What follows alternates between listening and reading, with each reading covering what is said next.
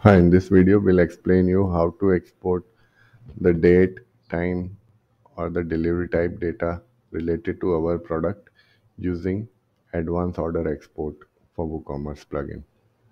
Now once you have this, you have to go to the export page of this plugin. Then you have to scroll down to set up fields to export and then you have to click on other and then add field. And then over here you have to specify the data that you want to export. For example if you want to explore delivery date you specify over here delivery date.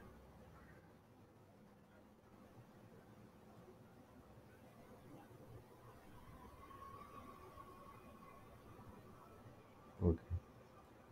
Over here it will be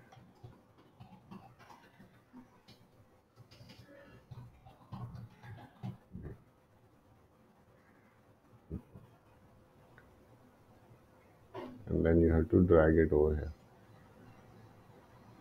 Add more field and say you want to delivery type.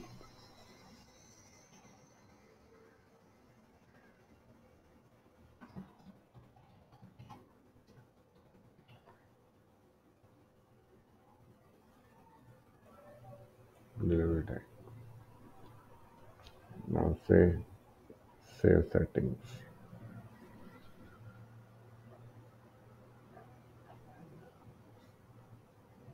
report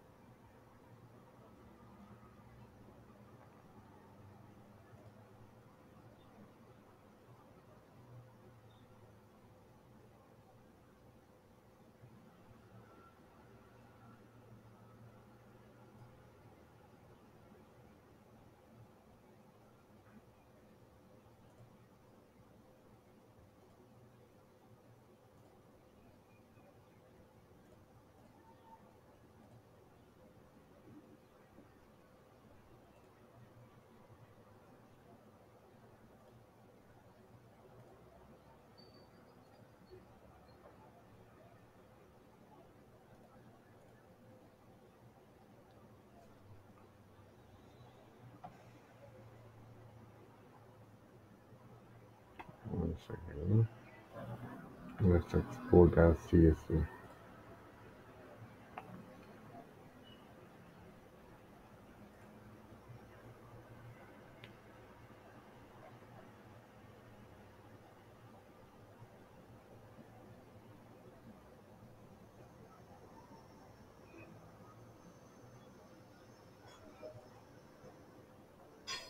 can see it is mentioned delivery date and you can see these are the data delivery date pickup